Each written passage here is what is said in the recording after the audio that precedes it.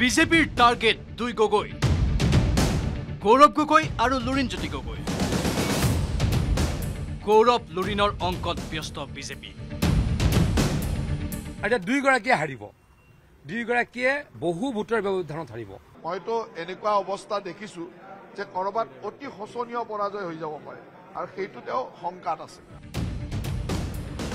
ৰাজ্যৰ চৈধ্যখন লোকসভাৰ সকলো অংক একাষৰীয়া কৰি বিজেপিৰ লক্ষ্য মাথোন এতিয়া। ডিব্ৰুগড় যোৰহাট লোকসভা সমষ্টি। দুই লোকসভা সমষ্টিৰ বিজেপি প্ৰাৰ্থী কেন্দ্ৰীয় মন্ত্ৰী সৰ্বানন্দ সোণোৱাল আৰু বৰ্তমানৰ সাংসদ তপন কুমাৰ গগৈৰ বিজয়ৰ আখৰাত ব্যস্ত বিজেপি। সেই বিজেপি নেতাৰ মুখত এতিয়া মাথোন ডিব্ৰুগড় যোৰহাট সমষ্টিৰ প্ৰসংগ। ডিব্ৰুগড় যোৰহাট সমষ্টিত কোনো কালে জয় নহয় সাংসদ গৌৰৱ গগৈ আৰু লুৰিণজ্যোতি গগৈৰ। লুৰিণজ্যোতি গগৈক চাৰি লাখ ভোটৰ ব্যৱধানত পৰাভূত কৰিব কেন্দ্ৰীয় মন্ত্ৰী তথা প্ৰাক্তন মুখ্যমন্ত্ৰী সৰ্বানন্দ সোণোৱালে। বিপৰীতে তপন কুমাৰ গগৈৰ হাতত দুই লাখ ভোটত পৰাভূত হ'ব সাংসদ গৌৰৱ গগৈ। এই মন্তব্য মন্ত্ৰী পীযুষ হাজৰিকা। সৰ্বানন্দ সোণোৱাল ডাঙৰীয়াৰ লগত লুৰিণজী গগৈ ডাঙৰীয়া চাৰি লাখ ভোটৰ ব্যৱধানত হাৰিব। সেইটো আৰু ছেকেণ্ড থটটো নাই। আৰু গৌৰৱ গগৈ ডাঙৰীয়া দুই লাখ ভোটৰ ব্যৱধানত হাৰিব। মন্ত্ৰী পীযুষ হাজৰিকাৰ মন্তব্যৰ সমানে মন্ত্ৰী জয়ন্ত মল্ল বৰুৱাৰো কটাক্ষ।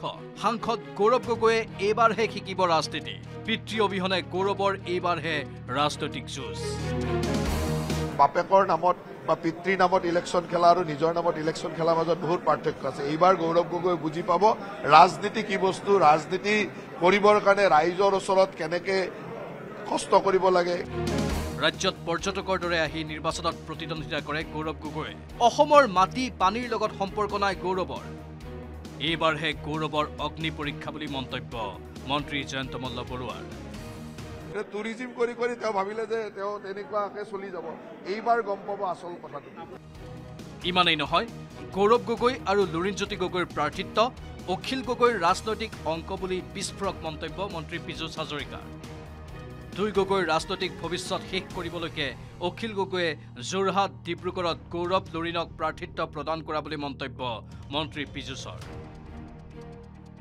অখিল গগৈ ডাঙৰীয়াই এটা মস্ত ডাঙৰ কাৰচাজি কৰিলে তেওঁ এটা ষড়যন্ত্ৰ কৰিলে বাকী দুজন গগৈক মাৰি দিয়াৰ ৰাজনৈতিকভাৱে মাৰি দিয়াৰ তেওঁ হয়তো সফল হৈছে। এই প্ৰথম তেওঁ যিটো কাৰচাজি কৰিছিল সেই কাৰচাজিত অখিল গগৈ ডাঙৰীয়া সফল হৈছে কিন্তু বাকী দুজনৰ ৰাজনৈতিক যি অৱস্থান সেই অৱস্থান একেবাৰে বেয়া হৈ যাব। ইফালে কাজিৰঙা এৰি যোৰহাটত গৌৰৱ গগৈয়ে প্ৰতিদ্বন্দ্বিতা কৰাক লৈ ৰাজ্যিক বিজেপিৰ সভাপতি ভৱেশ কলিতাৰ কটাক্ষ। গৌৰৱ গগৈ পলায়নবাদী নেতা। কাজিৰঙাত পৰাজয় মানি যোৰহাটত প্ৰতিদ্বন্দ্বিতা কৰিছে গৌৰৱে। ইমানে নহয় লুৰিণজ্যোতি গগৈৰ প্ৰাৰ্থিত্বক লৈ সমালোচনা ৰাজ্যিক বিজেপিৰ সভাপতিগৰাকীয়ে।